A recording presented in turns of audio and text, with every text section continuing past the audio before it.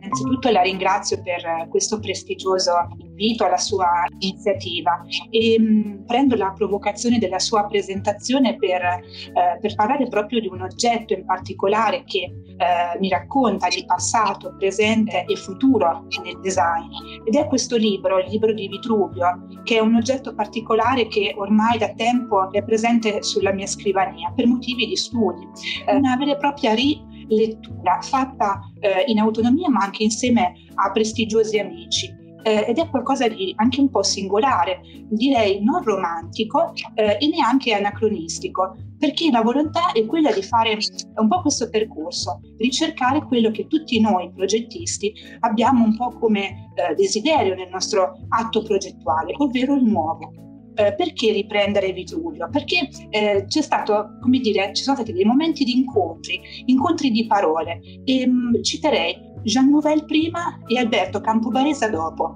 Eh, primo Jean Nouvel perché lui dice che Vitruvio è un libro di ricette eh, dove mescolando bene gli ingredienti si arriva a un prodotto certo. Eh, invece Alberto Campo Baezza ci dice non sarà valida un'idea eh, che non può essere costruita e quindi è necessaria la precisione dell'atto progettuale eh, che ci conduca alla costruzione e alla realizzazione di un'idea, quindi di un oggetto, eh, di un'opera architettonica. E questo mi ha stupito perché questo è stato fatto proprio seguendo eh, i riferimenti precisi di quest'uomo che realizzò un testo eh, privo di disegni, che per noi in realtà sono fondamentali, eh, e peraltro costruendo nella sua vita probabilmente una sola opera. Um, in questo mi viene da parlare subito del presente, perché in questo presente ehm, una figura importante in questo eh, viaggiare di questi anni e dialogare è stato proprio Vincenzo Latina, che mi dice Valentina, guarda, di fatto eh, è così, eh, nell'opera del passato vi è già il presente, basta saper scegliere eh, fra le discipline umanistiche, tecniche, scientifiche, fra i loro contenuti e noi potremmo eh, disegnare il nuovo. In fondo questi tre principi attraversano tutti i tempi e ci apparterranno sempre. E Carmelo Baglivo nelle sue immagini ce lo racconta perfettamente perché ci parla di quelle accumulazioni che raccontano lo stratificarsi del tempo, ci parlano come i tipi eh, dialogano con l'uso, gli usi che sono per noi centrali nel progetto dell'opera di design,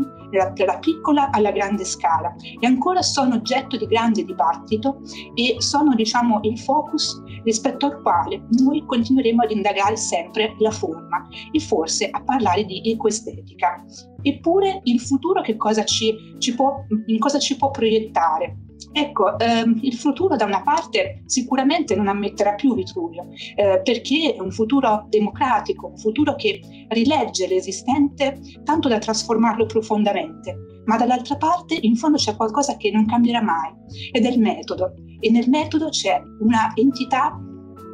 che attraversa tutti i tempi ed è l'uomo, l'uomo che è il nostro punto di riferimento, siamo noi, siamo al centro, ehm, siamo come progettisti e anche come uomini siamo chiamati a rispondere eh, continuamente alle esigenze e questo porterà sempre alla ridefinizione della qualità dell'opera rispetto al, alle attività di uso quotidiano oppure a,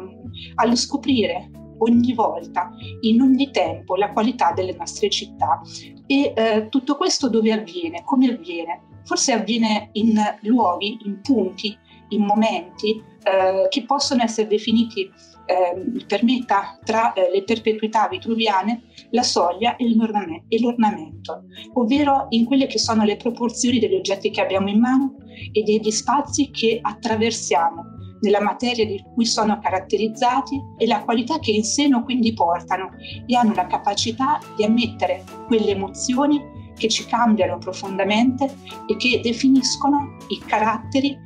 dell'identità dell'uomo in quel momento. Quindi l'opera che esprime l'uomo ogni volta nel suo tempo.